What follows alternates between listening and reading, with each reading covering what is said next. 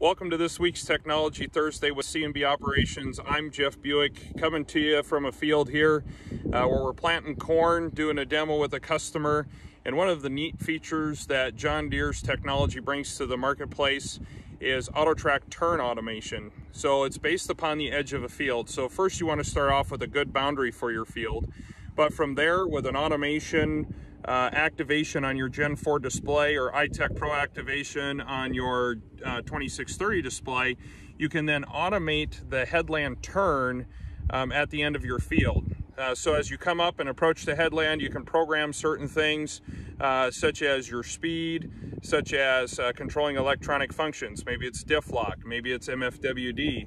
And then you turn to your uh, hydraulics, raise up the marker, raise up the planter and then you can control how many passes the tractor turns. If it's maybe just goes down the next pass or skips a pass, you can control that.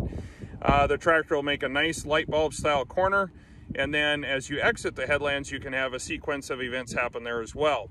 So again, lowering the planter down, turning on the diff lock, the MFWD, and getting back up to planter speed. So let's take a look at our uh, 8RX tractor as it comes to the headland here with the DB60 and executes uh, AutoTrac turn automation on this headland.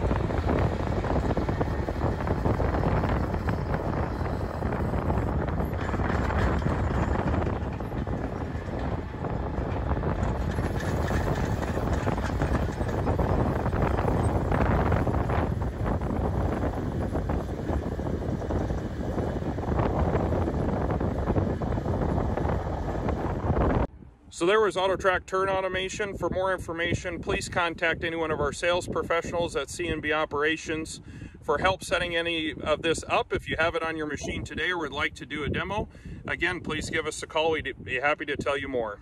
With C&B Operations, I'm Jeff Buyck, committed to being your dealer of choice.